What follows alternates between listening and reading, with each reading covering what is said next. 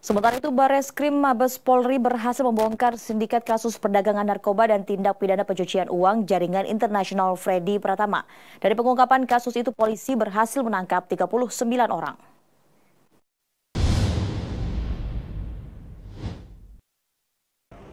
Bareskrim Mabes Polri berhasil membongkar sindikat perdagangan narkoba dan pencucian uang jaringan internasional Freddy Pratama.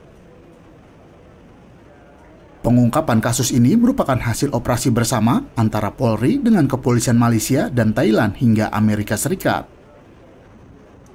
Sedikitnya sebanyak 39 orang ditangkap dalam operasi yang dilakukan sejak Mei 2023 lalu. Selain menangkap para pelaku, polisi juga menyita sejumlah barang bukti, di antaranya 10,2 ton narkoba jenis sabu dan 13 unit kendaraan. Dalam catatan kepolisian, sindikat narkoba Freddy Pratama diketahui memiliki jaringan yang terstruktur sehingga sulit untuk dilacak. Selain di Indonesia, jaringan Freddy Pratama juga beroperasi di Thailand dan Malaysia bagian timur. Sementara dari penelusuran PPATK, tim penyidik telah membekukan sejumlah aset dan rekening milik jaringan Freddy Pratama Sedikitnya 406 rekening dengan total 28,7 miliar telah diblokir untuk kepentingan penyidikan.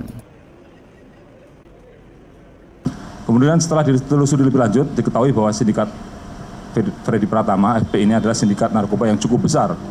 Bahkan mungkin terbesar karena dari hasil pengungkapan kasus tidak pidana narkoba oleh Baris Krim Polri dan jajaran dari tahun 2020 sampai 2023 ada 408 laporan polisi dan total barang bukti yang disita sebanyak 10,2 ton sabu yang terafiliasi dengan kelompok Freddy Pratama ini. Jadi ada beberapa barang yang beredar di Indonesia, setelah kita telusuri ada koneksinya, ada afiliasinya dengan jaringan Freddy Pratama ini. Aset TTP, TPPU yang telah disita dan akan yang akan dikoordinasikan juga dengan pemerintah Thailand adalah sebesar 273,43 miliar dan bila dikonversikan barang bukti narkoba dan aset TPPU nilainya cukup fantastis yaitu 10,5 T selama tahun 2020 sampai 2023.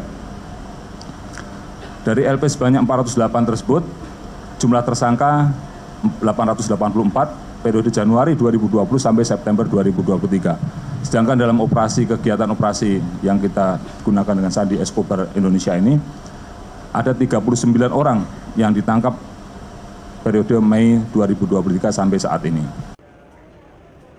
Polri dan kepolisian di Raja Malaysia serta kepolisian Thailand masih terus memburu keberadaan Freddy Pratama yang diduga bersembunyi di Thailand.